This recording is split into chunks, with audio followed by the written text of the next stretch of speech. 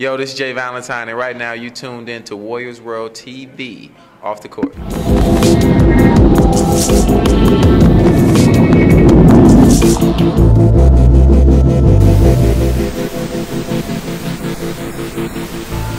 Box Kev here with another episode of Warriors World TV off the court. We are here live at 1300 on Fillmore, beautiful location downtown San Francisco. You guys got some time. You have to come check it out. Great location, great food, but more importantly, we are here with my man, the king of R and Bay, J. Valentine. How you doing there, buddy? I'm good, man. So, obviously, I know you, you know me, but we're gonna do this for all the viewers who obviously have, uh, you know, been familiar with your career but might not actually know the history of it. So, take us through like the process of, of how you go about writing songs. Say for yourself, and what's the difference from like how you would write for another artist? Um, I guess I'll start with uh, writing for other artists. It's more so like you try to, if it's an artist maybe you don't know, you try to, you know, it's always harder when it's a new artist because you're trying to gauge what they do. So hopefully either they can come sing for you, um, they can kind of come tell you their story, what they, you know, because I always want to do things based on people's experiences, and so records really connect to them more so than just giving somebody a song they just sing. Now, all the artists that you have worked for, I mean, I'm sure we could go down a long list of all the people that you have worked for. Is there someone out there that you haven't worked with yet that you have your eye on, or that you, know would be like a dream true scenario for you, or maybe you have a song already written that you think is perfect for that somebody?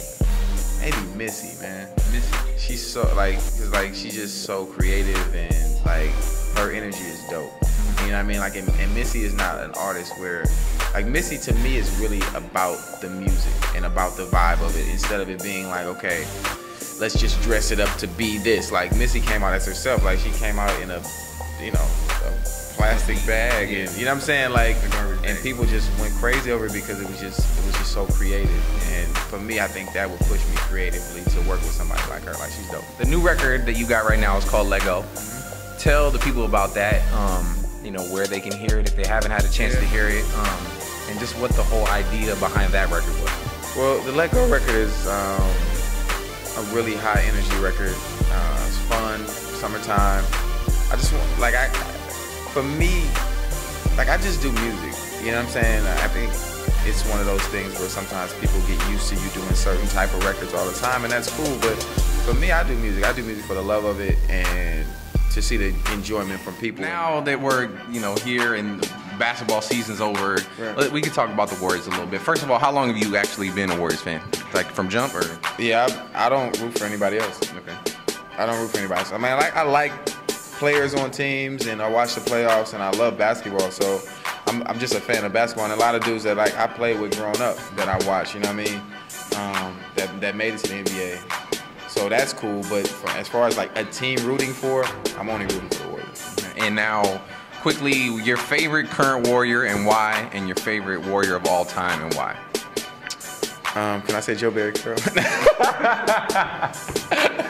nah, um, my favorite Warrior right now, I think it would probably be a toss-up between Steph and um and um and Monta. Like I mean, like I like I like Monta's game, um, but all I mean, like from a scoring standpoint, I think all around though, I might have to roll with Curry. And then all-time favorite Warrior and why him? I gotta go with I gotta go with Mully, man. I gotta go with Mully. For one, Mully is the homie. Right. Like I fool with Mully, I fool with I fool with Mully and Mitch Richmond real heavy, man. Like we actually play together out in um out in LA at, at um at certain runs, and I've been I've been fooling with him for the last few years. But like Mully, dog, it just it's like it's automatic. It's literally automatic. Like you, you play with him. And, and and or even just watching, man, like you can just tell certain people who worked on their game. Like his shot is pure. R&B game is this is a scenario. The R&B game's done with. You retired, and as of tomorrow, you get a call. and The Warriors want you to I would GM the team. music. Yeah, Right. They want you to GM, not Nah, play. play. You, no, no, no. you can't play. I don't know if you seen my tweet the other day, but I had a tweet that was saying that. And I actually Ustreamed it for a little bit, even though I don't know how to work it, but I'm learning how to work Ustream. Um, I said I was going to shoot a thousand jumpers every day until the next season starts, which could give me more time because Yeah. it may be a lockout. It might be a while. So just for a 10 day. I need a 10 day, dog. Master P shot a free throw in the NBA and said, uh. I remember it. I don't know if you remember it. Shot a free throw, turned around, went like this, like, uh. I was like, oh, that's the greatest thing ever. Of anybody who's ever played basketball, dog, like, he played in an NBA game. You cannot take that away from him. So somehow I'm going to play in an NBA game. I don't care if I have to sneak on the court and get arrested. So I guess it would be safe to say that if you were named GM, you would put yourself on the team for 10 days. Yes. Finish this sentence for me. When the Golden State Warriors win the NBA championship, I will. Run down Fillmore Street naked. I don't care. It is what it is. I'm. Hey, we going to jail Hey, thank you very much for coming through, man. You know, I appreciate it. bro. Um, those who want to get in contact with you, I know you got, you know, your Yeah. Twitter, Facebook, all that Um, stuff. Let well, people know. My website is uh, jvalentine.com. Uh, my Twitter is jvalentine number one. Uh, it's jvalentine and the number one. I don't put the sign and the number sign and all that other stuff. Out jvalentine one. Yeah, don't spell out numbers. It's jvalentine one. And then my Facebook is jvalentine. All right. Well, thank you very much. This has been another episode of Warriors World TV Off the Court. I am Box Kev, the king of R&B, J. Valentine, and we are here at 1300 on Fillmore. Come check us out. 10 day. J. Valentine.